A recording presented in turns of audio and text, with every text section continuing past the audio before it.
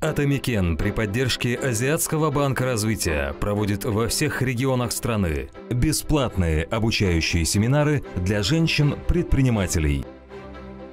11 и 12 июля. Акмолинская область. Приглашаем на семинар «Развитие женского предпринимательства в сельских регионах». Участниц ждут эффективные тренинги по основам бизнеса и доступу к финансированию – где взять стартовый капитал, как получить грант или кредит в банке, как развивать свое дело и находить новые рынки сбыта.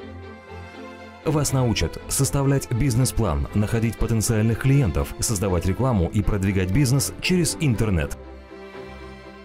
11 и 12 июля. Акмолинская область. Боровое. Заявки для участия направляйте в региональную палату предпринимателей.